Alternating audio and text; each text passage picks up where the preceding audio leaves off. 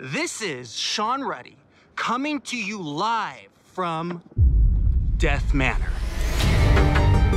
For seven years now, you have watched me face my fears for your entertainment.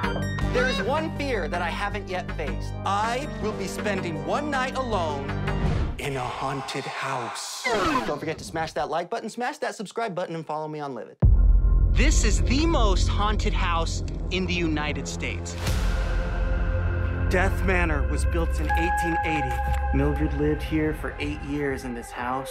She hung herself at the end of this hall.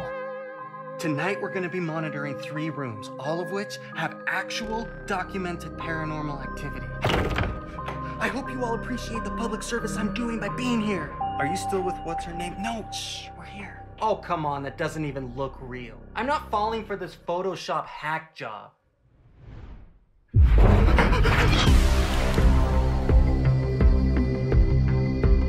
be her journal!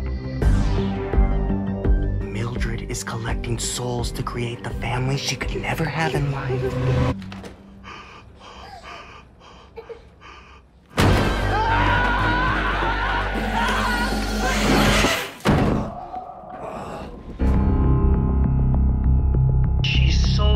soul to the devil. I understand.